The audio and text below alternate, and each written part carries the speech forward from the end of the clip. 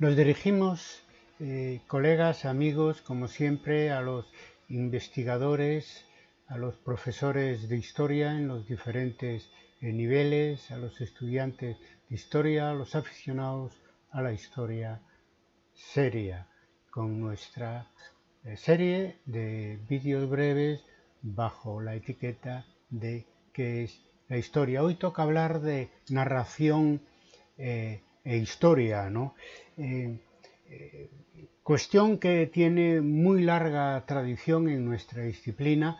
Eh, decimos que narración es, en suma, contar lo sucedido, sea con un enfoque realista o con un enfoque de, ficción. Es lo que en nuestra terminología llamamos la historia narrativa, la historia relato también eh, nos referimos como sinónimo de historiografía a la escritura de la historia, con, lo que se demuestra lo que decía antes, la larga, la muy larga tradición que tiene la relación eh, entre la historia y la narrativa. Eh, la historia narrativa más conocida es la aportada por el positivismo, que fue mm, muy criticada por los nuevos historiadores del siglo pasado, yo creo que con razón, porque se caía con frecuencia en una historia puramente descriptiva, en una historia eh, superficial. Eh, se decía incluso que parecía más eh, literatura que ciencia, a pesar de las aspiraciones cientifistas de, de Von y, y compañía. Después, mucho después, vino el posmodernismo a intentar convencernos de que la historia era una rama de la, de la literatura, ¿no? incluso cambiando acepciones, por ejemplo, eh, narrativa y, relato, eh, por, la aportación eh, posmodernista, pues equivalen también al discurso, ¿no? para poder decir que la historia que escribimos es narrativa, es pura narrativa, puro relato, es decir, puro discurso. No tiene nada o poco que ver con la realidad de lo que pasó. En fin, ya hemos dedicado un episodio a, este tema que fue eh, suficiente. Lo importante para el tema que nos ocupa hoy es no tirar el niño con el agua sucia de la, bañera. Eh, Lawrence Stone, ya fallecido, historiador eh, norteamericano, nuestro primer congreso en el año 1993, eh, bajo el título, una ponencia bajo el título del futuro de la historia, insistía mucho. es necesario, está claro que es necesario, él decía, insistía mucho en eso de que el historiador debe escribir bien, yo añadiría debe escribir para todos, no solo para para nuestros colegas, ¿no?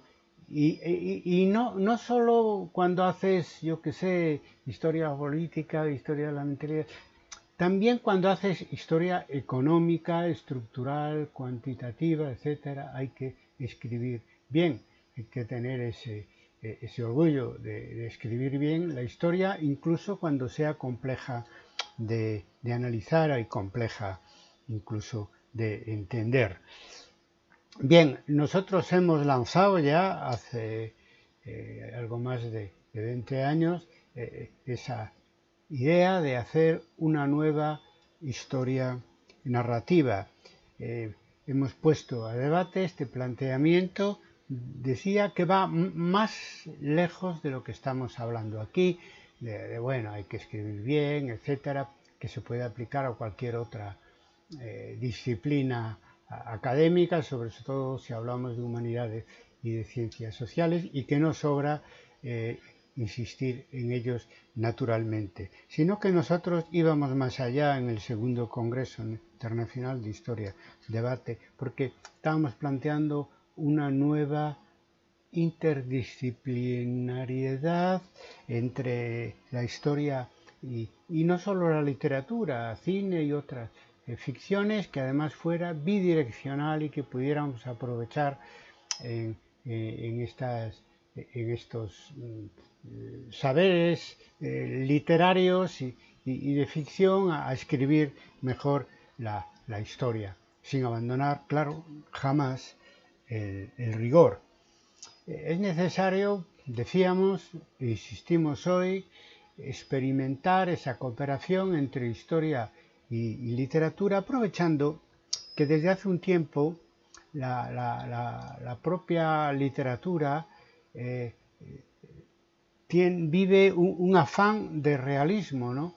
Es decir, que en, la publicidad de cualquier novela histórica se dice está basada en, hechos reales. Bueno, los hechos reales, tratándose de una novela histórica, no la sacan de, de nosotros, de los historiadores, con mucha peor fortuna nosotros cuando hacemos historia, pero bueno, lo aprovecha, que para eso escribimos y para eso se hacen nuestras investigaciones, pero con enormes limitaciones visto desde el otro lado, desde el lado de la historiografía, eh, debemos hacer lo que ellos hacen. Importan datos para hacer novela, datos historiográficos, y nosotros debemos importar eh, eh, técnicas y, modos de escribir de, la literatura y, otras, y otras ficciones. Me refiero, yo que sé, a estilos, tramas, eh, escenas, eh, narradores, eh, incluyendo el propio historiador, a recursos como el, el, black, pasado presente, que sobre todo lo vemos mucho en cines, son cosas que nos pueden, nos pueden ser útiles para escribir bien la historia, como decía Lawrence Stone. En este sentido, eh, para ir hacia una nueva historia narrativa, tenemos eh, un precursor egregio, que es don Claudio Sánchez Albornoz de joven, en un año 1934, cuando investiga y escribe estampas eh, de la vida en León hace mil años. Ahí él intenta compaginar eh, la narración, eh, que es la innovación que, propone, con mucha erudición, como era característico por parte de, Sánchez Albornoz.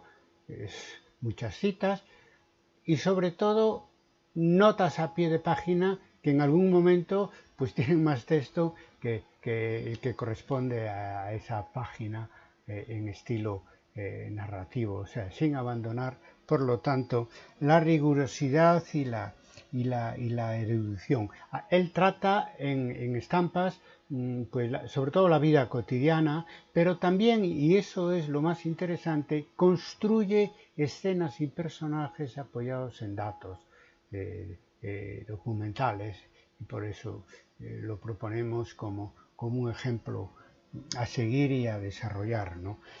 Claro, mm, se me podrá decir, y algo de verdad hay, que, no todas las fuentes y temas de investigación se prestan a, una nueva historia narrativa. Desde luego, no es el caso de las fuentes narrativas, eh, no es el caso tampoco de las fuentes eh, judiciales, sobre todo de algunas de ellas, pero también, y eso lo tenemos que aprender de Claudio Sánchez Albornoz, en base a documentación de archivo, en su caso económico-social, se puede reconstruir eh, con un estilo narrativo el, pasado que analizamos en, nuestro, con nuestro oficio. También otra cosa interesante eh, que, nos planteamos, eh, estamos proponiendo todo esto a debate, mm, es utilizar una doble edición. Eh, es decir, eh, una edición literaria y una edición académica con notas eh, y, en fin, y, todas las referencias que sean necesarias para demostrar que la historia narrativa que escribimos está basada de verdad, de palabra de historiador, en hechos, en hechos reales. podemos decir que planteamos esto porque como, se dice, la realidad a veces supera la ficción. Se trata de demostrar eso haciendo una nueva historia narrativa que, eh, que, no, que no, abandone el rigor eh, documental para, para, e interpretativo ¿no? también para, para hacer nuestras, reconstruir la, el, pasado histórico. Claro que para hacer eh, esta nueva historia narrativa eh, que proponemos, antes hay que desarrollar o paralelamente hay que desarrollar la historia de las mentalidades. De, las críticas que, hace, los, que hacen los novelistas históricos a, a, los historiadores, yo creo que la más correcta y que debemos asumirla como correcta es cuando dicen que a la historia que nosotros escribimos le falta emoción, es decir, le falta eh, sentido eh, y sensibilidad humana. ¿no? E, es cierto, ¿no? Eh, la verdad es que los estudios académicos sobre historia suelen ser bastante secos y, y, y empatizan poco con el, con el sujeto humano de nuestras, de nuestras investigaciones. Pero a ellos no les va mejor, ¿eh? porque es cierto que introducen la, sensibilidad y la, emoción en, muchas de sus, de sus historias noveladas, pero, sin embargo, eh, lo hacen trasladando desde el presente en el que escriben hacia atrás las mentalidades actuales. Claro, ahí no poco pueden copiar de los historiadores porque hemos desarrollado poco la historia de las mentalidades y en caso de que lo hagamos eh, en, todos los campos y líneas de investigación como, como debe hacerse, estoy seguro de que el, novelista histórico que quiera apoyarse en datos reales podrá apoyarse también en datos reales de tipo mental que evite esos anacronismos que, nos estallan. Eh, en la cara cuando leemos una novela histórica y de pronto vemos ahí pues una mentalidad, por ejemplo, feminista, eh, típica de los tiempos actuales, lo cual no quiere decir que, en la Edad Media, por ejemplo, que como sabéis es lo que yo trabajo y, conozco más, no haya reivindicación femenina en tantas cosas, ¿no? Pero eh, no la mentalidad feminista actual, que nace con las sufragistas en finales del siglo XIX, y sobre todo se desarrollan lo que hoy conocemos como feminismo más bien en la segunda mitad del siglo XX. Entonces, nada anacronismo, sobre todo anacronismos mentales, es más fácil reconstruir un ambiente, etcétera, eh, y decorar, pues, pues eso, el espacio, un espacio de una batalla, eh, con especialistas empuñando espadas, etcétera, que reconstruir eh, la manera de pensar, sentir e imaginar la realidad que tenían los hombres de la época, esa en la, en la que se sitúa, pues en este caso, una novela histórica y, en el caso nuestro, la nueva historia narrativa que queremos desarrollar. A veces, eh, bueno, tenemos por lo tanto que eh, entrar en competencia con lo que se llaman, eh, los que se llaman escritores eh, de, novela histórica realista. Pero teniendo claro, porque ellos además nos lo dicen, que no van a renunciar jamás a la ficción.